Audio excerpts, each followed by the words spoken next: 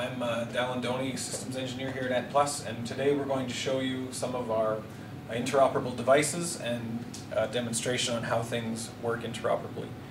Um, here on the PC we have a simulation running. Uh, there's a number of different sensors being simulated. This one in particular is showing bike speed sensor being simulated. This would this simulates uh, someone riding a bicycle or a stationary bike that has an Ant Plus speed sensor on it. So here we have uh, multiple bicycle computers from different manufacturers. This one is from CycleOps, um, their PowerTap meter. This is from Trek, this is their Insight Link meter, and this is the Garmin Edge 705.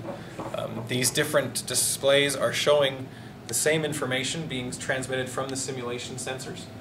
And they are, I mean, the speed is the same across, the power, the cadence, the heart rate is all the same across these devices. By adhering to the Ant Plus standard, they're able to um, make devices that are interoperable with each other and uh, be able to use them in the marketplace, giving the consumer the ability to transfer uh, sensors and displays together, giving them the most, the ultimate selection as to what is best for their needs and their particular wants.